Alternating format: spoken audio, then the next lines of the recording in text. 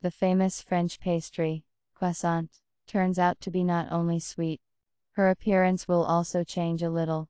And if you don't understand how this is possible, then read the recipe below in more detail. 1. Prepare the products and defrost the dough. 2.